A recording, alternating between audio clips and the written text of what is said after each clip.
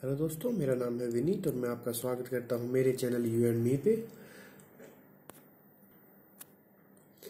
दोस्तों जैसा कि आप जानते हैं कि हमने अपने चैनल यू एंड मी पे एक सीरीज़ चलाई जिसका नाम है रोज़ाना कमाई। रोज़ाना कमाई में दोस्तों हम आपको स्टॉक मार्केट की बारीकियों के बारे में बताते हैं जिससे कि आप हर रोज कुछ ना कुछ स्टॉक मार्केट में कमा सकें। क्योंकि दोस्तों जान, आप जानते हैं कि स्टॉक मार्केट में वॉलेटिलिटी बहुत ज़्यादा होती है और उसी वॉलेटिलिटी के कारण वहाँ पर नुकसान होने की संभावना ज़्यादा हो जाती है। तो हमारा मेन मकसद यही है कि आपको बेसिक समझ में आ जाए। बेसिक समझने के बाद में आप वहाँ पर पोजीशन डाल सकते हैं और चार्टिंग करके अपने आप ही एक छोटा सा इन्वेस्टर बन के वहाँ पर हर रोज कुछ ना कुछ कमा कर निकल सकते हैं। तो दोस्तों, इसी सीरीज़ में हमने रोज़ाना कमाई में हमने हैजिंग और चार्टिंग के बारे में आपको बताया था। तो हैजिंग के अंदर एफ़ एंड में कैसे हैज़ करेंगे? एनएससी में बीएससी में कैसे हैज़ करेंगे?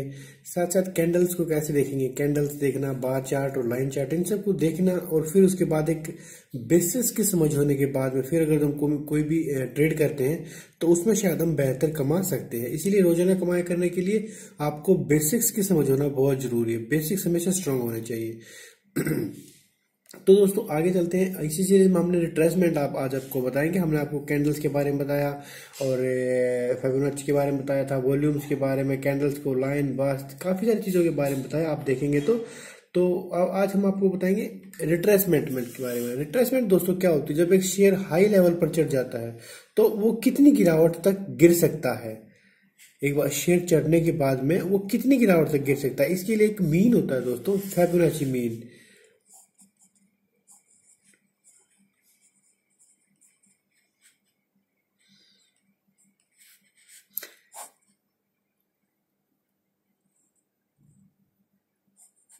मीन इसमें क्या होता है? जैसे ज़ीरो है वन है टू है three five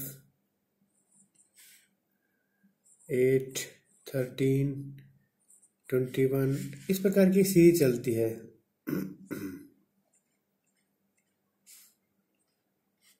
और फिर कंटिन्यू यानी कि पिछले का ऐड करके हम आगे लिखेंगे। इनका दोनों का ऐड करके हमने यहाँ पे लिखा, दो, तीन, पाँच हो गया, तीन और पाँच, आठ हो गया। पाँच और आठ, तेरह हो गया। यानी कि पिछली दो सीरीज़ को जोड़ करके हम आगे लिखेंगे, इसको कहते हैं फेबोनाची सीरीज़ कहते हैं। तो इसी प्रकार हम सोन करते चले जाएँगे। आगे जैसे तीन और एक यहाँ पे फोर हो जाएगा और यहाँ पे डबल फोर हो जाएगा। आगे सॉरी छ और पाँच हो जाएगा। तो कंटिन्यू चली जाएगी। तो अगर हम इनको डिवाइड करेंगे थ्री बटे फाइव करेंगे, या फिर फाइव बाई एट करेंगे, या फिर एट बाई थर्टीन करेंगे, या फिर थर्टीन बाई ट्वेंटी वन करेंगे, इन सब का जो मीन निकल के आएगा, वो निकल गया zero point six one eight इसे हम कहते हैं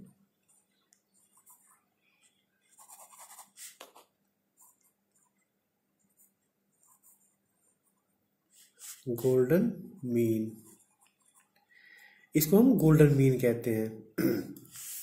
गोल्डन मीन फेबोनाची मैंने आपको क्या बताया? Zero, one, two, three, five. पिछले दो का ऐड करके हमें आगे लिखना है। जैसे यहाँ पे दोनों का ऐड किया, टू आया। यहाँ पे दोनों का ऐड किया, वन आया। यहाँ पे दोनों का ऐड किया, यहाँ पे थ्री आया। दो और तीन को जो हमने ऐड किया तो फाइव आया। थ्री और फाइव को ऐड किया तो एट आया। फाइव और एट को ऐड किया तो थर्टीन आया। थर्टीन और इन दोनों को ऐड किया तो ट्वेंटी वन आया। दोनों को ऐड किया तो यहाँ पे सॉरी यहाँ पे तेरह और इसको ऐड करेंगे तो तीन और चार, और यहाँ पे थर्टी आएगा दोस्तों सॉरी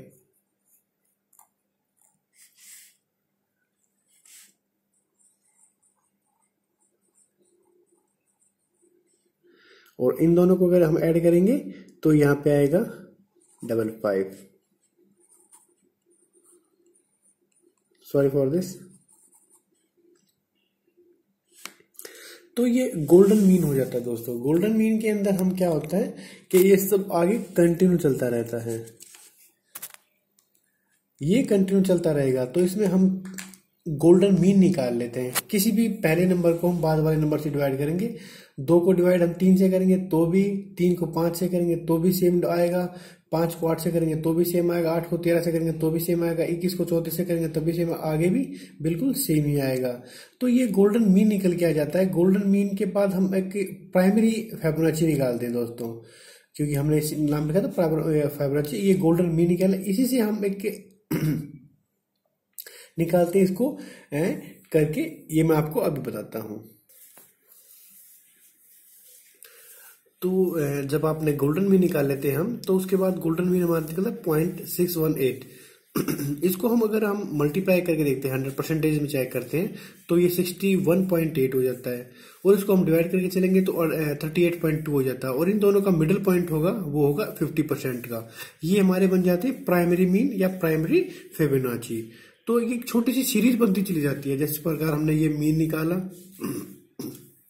गोल्डन मीन निकाला, उसके बाद गोल्डन मीन को हमने हंड्रेड से मल्टीप्लाई किया तो sixty one point eight percent हो गया, और इसको हम डिवाइड में लेके जाते हैं तो थर्टी एट पॉइंट टू आ जाता है, और फिफ्टी परसेंट आ जाता है। इसके बाद ये हमारे प्राइमरी मीन है, या फिर प्राइमरी फिबोनाची है इसके बाद हम एक्सटेंशन में चले जाते हैं फिबो एक्सटेंशन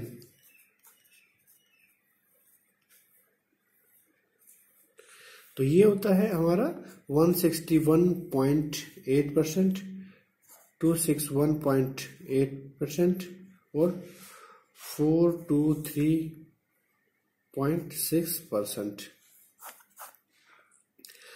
तो ये पूरी एक सीरीज़ बन जाती है हमारी फिबोनाची की, जो कि जब एक शेयर भागने के बाद कितना गिर सकता है, ये उसके ऊपर हम रिट्रेसमेंट डालते हैं। तो ये अगले वीडियो में आपको बताएँगे। फ़िलहाल के लिए हम आपको यही बता रहे हैं, क्योंकि लंबी वीडियो होने के बाद फिर देखा नहीं जाता उस चीज़ को। तो रोज़ाना का हमने क्या बताया आपको? फेबोनाची उसकी सीरीज़ थी।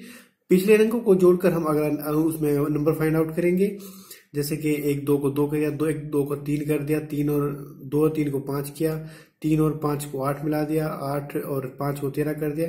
इसी प्रकार अन को डिवाइड करेंगे एक दूसरे के साथ में तो गोल्डन मीन निकल गया। गोल्डन मीन हमारा, हम हंड्रेड के उसमें लेके जाते परसेंटेज में लेके जाते तो सिक्सटी वन पॉइंट एट है। फिर ये डिवाइड करने के बाद थर्टी एट पॉइंट टू आता है। फिफ्टी परसेंट इन दोनों का मिडल हो जाता है। ये हमारा प्राइमरी और या प्राइमरी फिबोनाची है प्राइमरी मीन है। फिबोनाची एक्सटेंशन में चला जाता है सिक्सटी वन पॉइंट एट है टू सिक्सटी पॉइंट एट है और four twenty three point six है। तो ये हमारे बेसिक्स मीन फेबोनाची नंबर्स हैं और ये फेबोनाची सीरीज़ होती है। तो अगली सीरीज़ में हम आपको और भी बताएँगे, क्योंकि लंबी वीडियो बन जाती है। तो दोस्तों, हमारे साथ बने रहिए। हमारी वीडियो को आप लाइक शेयर और सब्सक्राइब करना बिल्कुल ना भूलें। हमारे चैनल को सब्सक्राइब ज़रूर करें और